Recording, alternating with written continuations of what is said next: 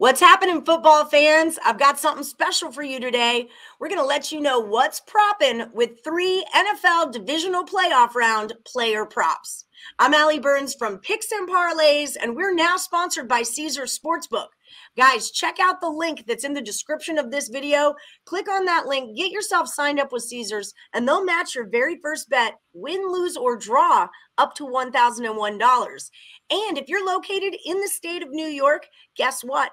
Bonus prize from Caesars. They're going to drop 300 bucks into your account just for signing up, no deposit necessary. And then when you do deposit, they'll match that money up to 3 grand. So you guys don't want to miss miss out on this super hot deal. Now with me today, I've got NFL expert handicapper Nick Earle from Earle Sports Bets here to lay three player props on us. How's it going, Nick? Hey, what's propping? Yeah, we're gonna limited amount of games this week, so we're gonna dig a little bit into the player prop market for this week. That's the way to do it, man. Um, I got a lot of the morning woodies that are cashing big on player props. Uh, I know a lot of the handicappers on our site are into them as well. So, what's this first one we're going to talk about today? Yeah, the first one I'm going to go with here. I'm going to have two from uh, the same game from the same team, and then I have another one from another one. So, uh, looking at the first one here, we have the Los Angeles Rams. They're going to be at the Tampa Bay Buccaneers. And I'm going to be looking at Matthew Stafford to kick it off here. Uh, over half an interception. And here's my idea behind this game. Uh, I haven't done really player props or anything like that since my DraftKings days. I used to do that. So, kind of had to put that hat back on and try to break down some of these player props. And my my theory behind this game, my intentions for this game is – the Tampa Bay Buccaneers have one of the best rush defenses in the NFL, which means they're going to slow down the running game of the LA Rams, which is going to force Matthew Stafford to throw the ball. Now, last week, I think he had only 15 or 16 pass attempts, which led him to not throw an interception for the first time in like a month or something along those lines for games. Uh, so I, I expect uh, Matthew Stafford to have to throw the ball a few more times in this game against the Buccaneers and really to be able to move the ball because I don't really see them being able to run the ball too much against this Tampa Bay Buccaneers rush defense, which also leads me to my second play here. I like the Buccaneers in this game, but one thing the Buccaneers do struggle in is covering tight ends. And uh, that's leading me to Tyler Higbee here uh, for the LA Rams over 42 and a half receiving yards. I expect Matthew Stafford to have to throw the ball more uh, which means they're going to have to uh, hit up a target here and uh, one of his more reliable targets of Tyler Higbee. Um, and I think he gets at least 43 receiving yards.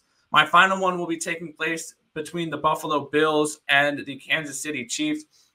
And this one is a it's one that's a nice little plus money one here. I like Dawson Knox to get an anytime touchdown against uh, against the Kansas City Chiefs in this game. Uh, Dawson Knox is a reliable red zone target here for Josh Allen and the Buffalo Bills. He had two touchdowns last week against the New England Patriots, and I think he might be able to get one in this game as well. That's a very high total of 55, 55 and a half between the Kansas City Chiefs and the uh, Buffalo Bills. So I expect points in that, this game, and I expect Dawson Knox to get a touchdown there. And you get a nice little price of plus 200 here. So for my props, I'm going with over half an interception for Matthew Stafford. I'm looking at Tyler Higbee of the LA Rams over 42 and a half re- receiving yards.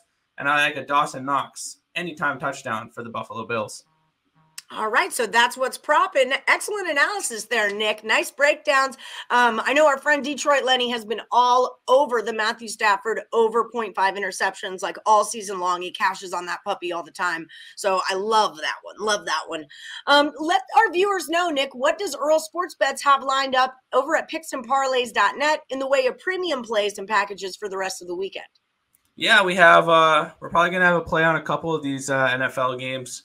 And then, of course, we have college basketball, NHL, NBA, all the good stuff there. So, uh, got a lot of uh, plays that we go come out with. Uh, got a lot of volume, so we'll always have plenty over at the site.